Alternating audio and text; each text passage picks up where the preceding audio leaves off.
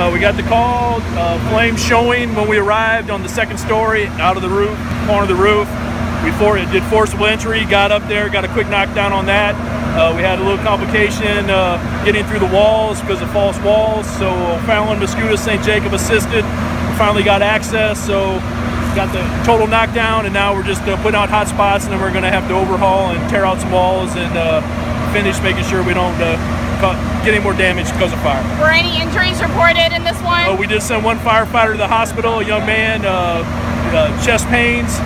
he's a younger guy. Don't know the seriousness of that yet. I haven't had a follow-up but uh, I think a little bit of heat and exhaustion. Uh, and that's the only injury. Uh, the only one home at the time was a cat.